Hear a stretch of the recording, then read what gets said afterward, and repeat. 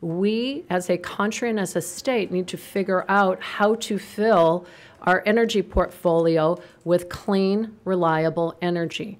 Senator Sue Rezin believes a key component of that effort is the construction of high tech small modular nuclear reactors, or SMRs, which can provide clean, efficient power, even when wind and solar operations are struggling.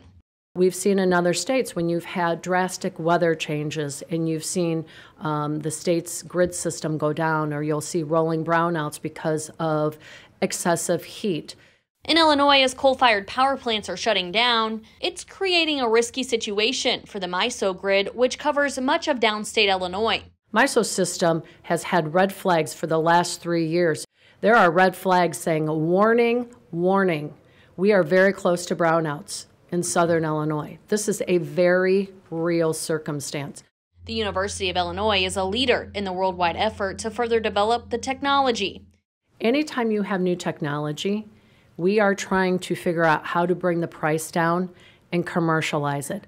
They've made great strides in innovation, technology, and safety. And advanced reactors have been developed with uh, layer upon layer of additional safety. We're looking at an already very safe technology in nuclear power. Uh, advanced reactors will take that even further.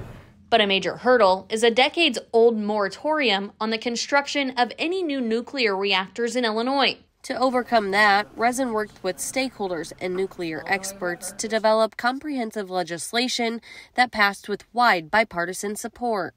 All of the groups' uh, input, we've taken a very good bill and made it even better.